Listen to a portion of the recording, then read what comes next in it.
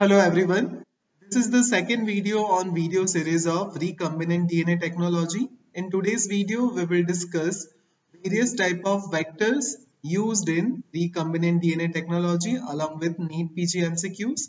To download lecture notes and other interesting stuff related to biochemistry, please visit website biochemistrybasics.com. First, definition of vectors which are also called as a cloning vehicles. Vectors are the DNA molecules which can carry foreign DNA fragments to be cloned. So this is the foreign DNA fragment which are carried by the vector to produce recombinant DNA. Once the desired fragments of DNA are obtained, they are inserted into a suitable vector to produce indefinite number of copies of genes. This is known as a gene cloning they are self-replicating in appropriate host cell.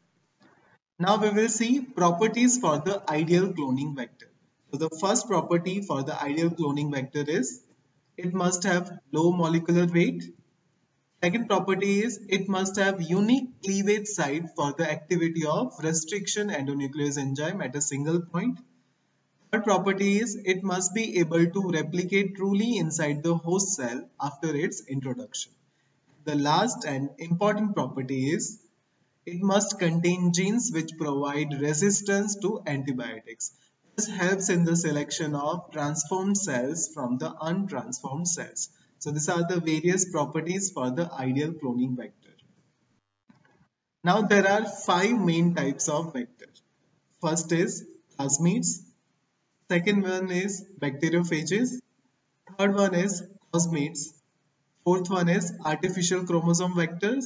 The last one is expression vectors. We will discuss it one by one. First, plasmids. They are the circular double-stranded DNA molecules seen in bacteria.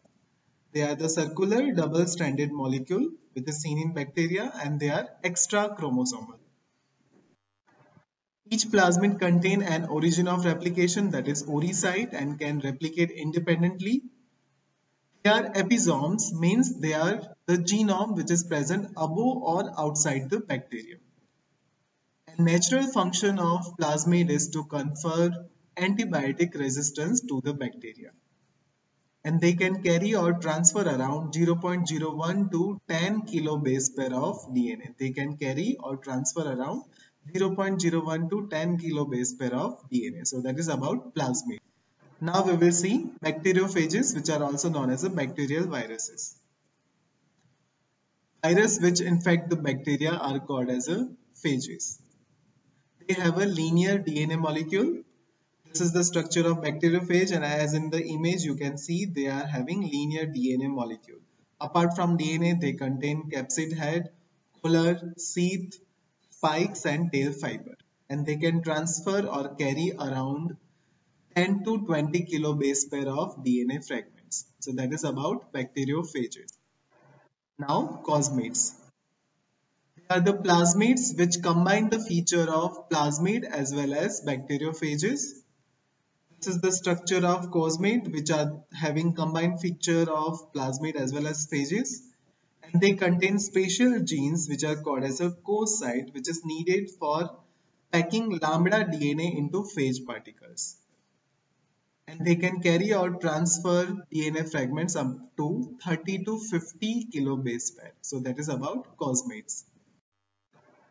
Now bacterial artificial chromosome, yeast artificial chromosome and PAC. They are the artificially created chromosomes that can carry large DNA insert. BAC or BAC that is bacterial artificial chromosome, YAC that is YAC that is yeast artificial chromosome and PAC that is PAC that is E. coli bacteriophage P1 based vectors. And the DNA insert size carried by this bacterial artificial chromosome, yeast artificial chromosome and PAC is bacterial artificial chromosome and E.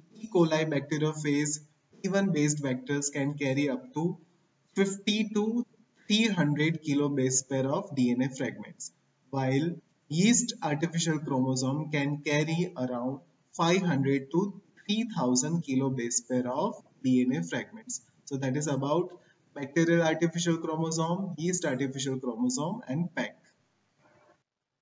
Now this is the table showing the different vectors with different DNA insert size.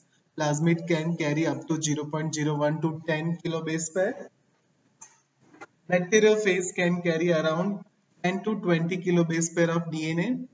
Plasmids can carry around 35 to 50 kilobase pair of DNA. PEG or bacterial artificial chromosome can carry around 50 to 300 kilobase pair and yeast artificial chromosome can carry around 500 to 3000 kilobase pair of DNA. Now we will see various multiple choice question. First question was asked in PGI December 2007. In DNA transfer, the vectors used from smallest to largest is and the options are cosmid, plasmid, bacteriophage, plasmid, bacteriophage, cosmids, bacteriophage, cosmids and plasmids, cosmid, bacteriophage, plasmids, plasmid, cosmid, bacteriophage. So in the question they have asked smallest to largest. So the correct answer is plasmid, then bacteriophage and then cosmid. So the correct answer is B from smallest to largest. Second question, it was asked in AIIMS, December 95. In gene cloning, largest fragment can be incorporated in.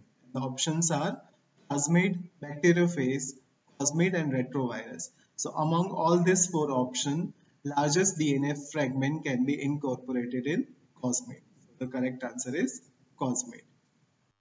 These are the my references. Thank you for watching. Please like, share and subscribe Biochemistry Basics by Dr. Amit. And don't forget to press the bell icon so you can get all the notifications from it. Thank you.